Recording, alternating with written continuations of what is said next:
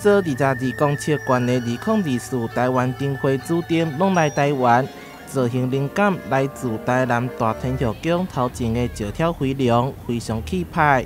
也过有人为无同的角度来看这只龙。我觉得蛮像在丢钱、雕球的灌篮的样子。有人讲亲像是在拍篮球、打篮球，啊，佮有人讲亲像是哥吉拉招财猫等等。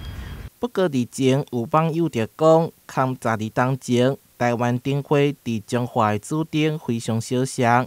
为龙头手提球的姿势，拢互网友做图来比较。彰化的比较虚幻一点，嗯，然后这次的金龙的话，它设计比较真实感。我想应该是他想要表达是主吉祥啊，还是土猪的概念吧。嗯嗯。那我刚刚走了一圈，我觉得他连底下的创作也蛮不错，他连八卦乾坤都把它放在里面。其实台湾灯会举办三十五档以来，龙的主题已经是第三摆。